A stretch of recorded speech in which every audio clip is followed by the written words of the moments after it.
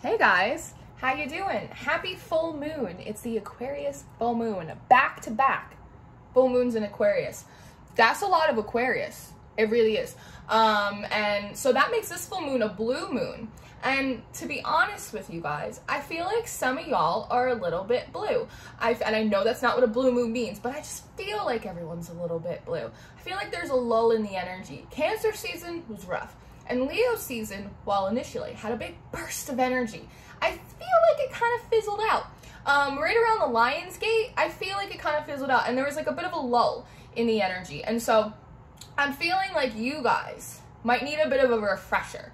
I feel like we kind of need to brush the dust off of our shoulders from from the last two seasons and get like some a little fresh energy. Let's get a little fun.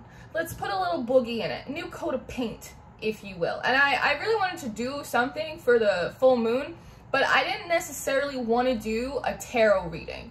Um, so I feel very guided to do an energy working instead. And so I think moving forward, instead of doing um, tarot readings, oracle readings for the lunar shifts, like the full and the new moon, I think I'm going to do energy work instead. Especially because I love energy work and so much of what I do for my clients and what I do behind the scenes is energy workings of all varieties. Um, and so I feel way more guided and way more excited to do it that way. And I was thinking about energy work in general and how oftentimes we go into it um, very serious, very stoic, sometimes even a little solemn. Um, and energy working, it is it is serious business, trust me. Um, but at the same time, I feel like there's an element that energy work should be more fun, right? Um, and Aquarius is also very much of like a communal sign. It is so much more communal versus self. Kind of, you know, so I feel like, especially for an Aquarius full moon, the energy working should kind of feel like a barbecue. It should like feel like everyone coming together. Because I also feel like when we're having fun, um, that it, it immediately lets your guard down. It immediately shifts you up to a higher vibration. And so that's what I want to do today. So that's what I'm going to do. So I have a song um, for this energy working. It's a little bit funky, but um, I'm excited about it. So if you would like a bit of an energy clearing, a bit of a refresher, get a little get a little lightness, a little brightness back in your spirit, then hang out with me for like the next eight to 10 minutes. And I can do that for you if you don't want this. My energy will not breach your sovereignty, so you don't have to accept it. Um, we will not cross any boundaries if you don't want it. But if you do, I'm here. So if you're ready, Freddie, we're gonna get started. Very good? Very good. So just nestle yourself in, get yourself comfortable. What are you doing? You're in a chair, you're on the floor, you're in bed, you're walking around your house, you're vacuuming, cool. Just kind of nestle yourself in, take a big, big deep breath. Let it out. Another deep breath. Let it out. One more. Let it out. You ready? Let's go.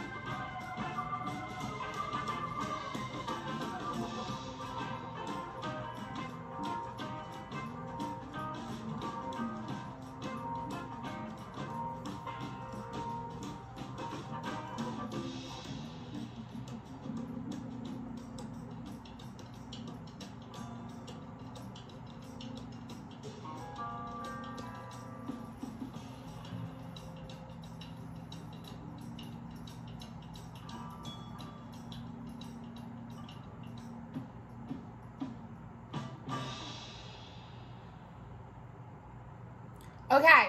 Ooh, 11 11. Ooh, that's that's a good sign. We finished right on 11 11. How do you feel? Do you feel good? And Aquarius was the 11th house. Look at that. Um, how do you feel? Do you feel good? I hope you feel better. I hope you feel a little clearer, a little lighter, a little more re-energized. Um, I do, so I hope you do. You all did very well. You did very well. Um, so yeah, so this was like your little bit of an energy working for the Aquarius full moon. We kind of cleared out like so much of that density. It was just like, it was almost gone, but it was just like a little stuck. So we just kind of separated it off, cleared it all out, kind of reset everything, put some like new, beautiful golden light in there, fresh, bright, happy, excited, thanking Leo season for what it did for us, thanking the full moons for what they just did for us, but very eager and excited to just move into a new season, both astrologically, personally, individually, spiritually.